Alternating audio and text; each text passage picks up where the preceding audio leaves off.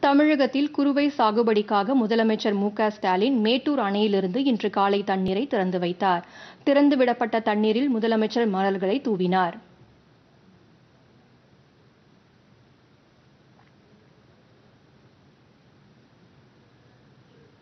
முதலில் வினாடிக்கு மூவாயிரம் கன அடியாக திறக்கப்பட்டுள்ள தண்ணீர் வரும் மாதங்களில் தேவைக்கேற்ப கூடுதலாக திறக்கப்படும்.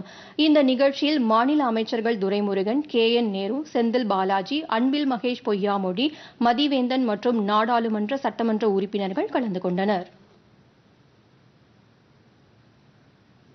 தண்ணீர் திறப்புக்கு பின்னர் செய்தியாளர்களிடம் பேசிய முதலமைச்சர் ஸ்டாலின் விவசாயிகள் தண்ணீரை சிக்கனமாக பயன்படுத்தி அதிக அளவில் நெல் சாகுபடி செய்து அமோக மகசூல் பெற்று பயனடைய வேண்டும் என்று கேட்டுக்கொண்டார்.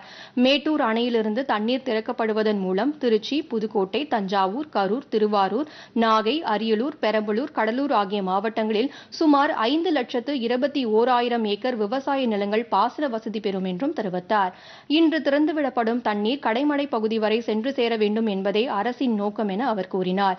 சாகுபடி பரப்பளவை அதிகரித்து உணவு உற்பத்தியில் தன்னிறைவை அடைய நடவடிக்கை எடுக்கப்படும் என்று கூறிய முதலமைச்சர் இந்த ஆண்டு உணவு உற்பத்தியில் தமிழகம் சாதனை படைக்கும் என நம்பிக்கை தெரிவித்தார். காவிரியில் தமிழகத்திற்கு உரிய தண்ணீரை பெறுவதற்கு நடவடிக்கை எடுக்கப்படும் என்றும் அவர் கூறினார். அதிகமாகி வருகிறது என்று சொன்னால் அதனை ஒவ்வொரு ஆண்டும் அதிகப்படுத்த வேண்டும் என்பதுதான் இந்த அரசினுடைய குறிக்கோள். திறந்து விடப்படும் தண்ணீர் கடமடை வரைக்கும் சென்று சேர்ந்தாக வேண்டும். அதை கண்காணிக்க வேண்டும். அதனால தான் நேற்றைய தினம் காவேரி டெல்டா மாவட்டங்களில் தூர் வரக்கூடிய பணிகள் நாங்கள் போய் நேரடியாகவே பார்த்தோம்.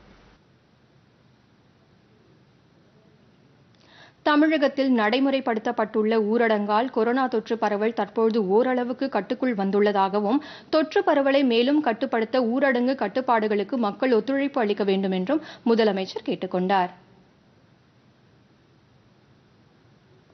தொடர்ந்து இரண்டாவது ஆண்டாக மேட்டூர் அணை ஜூன் பன்னிரெண்டாம் தேதி திறக்கப்படுவது குறித்து விவசாயிகள் மகிழ்ச்சி தெரிவித்துள்ளனர்.